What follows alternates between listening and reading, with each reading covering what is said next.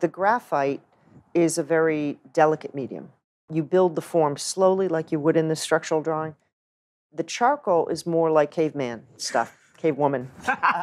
so I've got this knife, which is one of those retractable X-Acto type knives. And you just want to carefully carve out, this is going to be a little messy. So I'm going to carefully hold it flat. Okay, you don't want to tip it up this way, you want to hold it flat.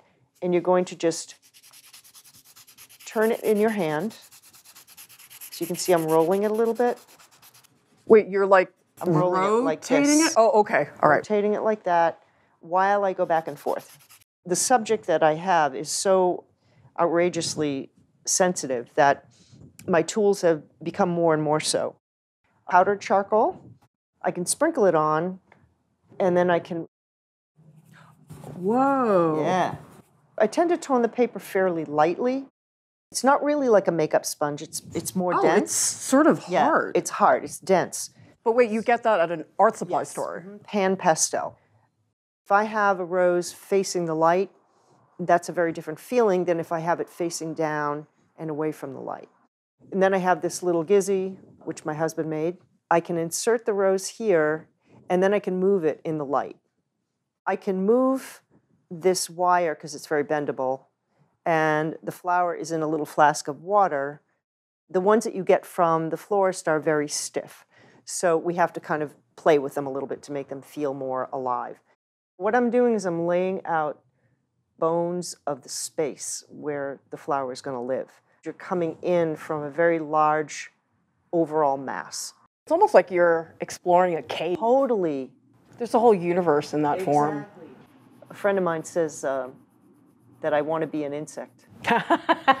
So you could crawl around inside a rose. You want to be the bee. So when our flower is gone, what I have is a essentially a magnifying glass. Now the color is wrong. I mean, you can see it just our eyes see so much more color. The only thing I really need is a reasonable reference, hmm. mostly for structure. Gives me a general sense of, of what I'm looking at. Now, why did you make this big cardboard box? Why does that matter? I'm trying to get the light to move in a certain way. Well, it's cutting off the light over here so that this is backlit. The light's coming in and there's a darkness back here. So this has a sort of glow to it.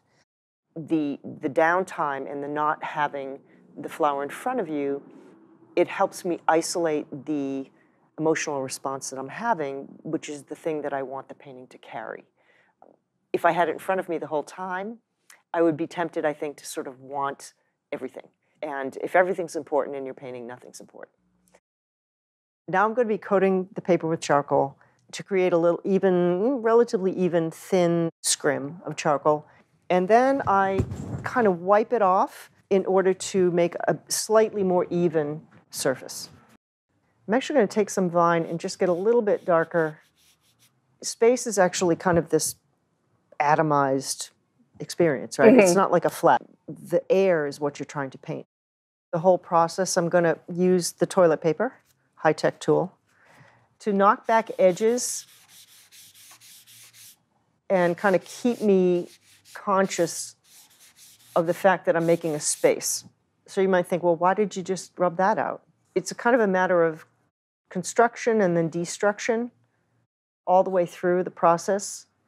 So I go back and forth, back and forth between defining something and then absolutely kind of taking it apart and defining it again.